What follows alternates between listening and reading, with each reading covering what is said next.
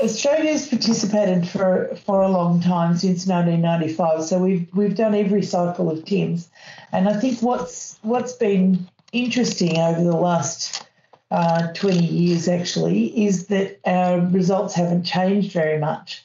Whilst we've changed different things internally, and we've we've now got a national uh, national curriculum which we didn't have, and we seem to have far more alignment across the states and territories and yet our achievement up to up to this year hadn't changed very much. So I was pleasantly surprised when I got the results for TIMSS this year, and we found that in maths and science at both year four and year eight, our results had actually improved. In year four only in science, but in year eight in maths and science. So that was a really surprising thing. Was significant significant improvement in in maths and science, and I think that will be a really a really good message to bring to the Australian uh, teaching profession this year.